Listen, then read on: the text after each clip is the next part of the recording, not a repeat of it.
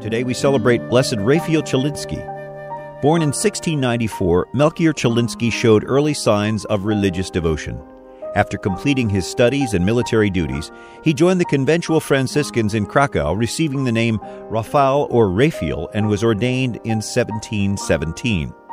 It was a vulnerable time for Poland, still recovering from the Thirty Years' War and surrounded by countries intent on invasion. Father Raphael served the weary people through his simple and candid sermons, his generosity, and in particular, his ministry in the confessional. People from all levels of society were drawn to the self sacrificing way he lived out his religious profession and priestly ministry. When a major epidemic hit Warsaw, he ministered to its victims and listened to the confessions of many dying persons. The partition of Poland put a stop to the process for his beatification, which was begun not long after his death in 1741.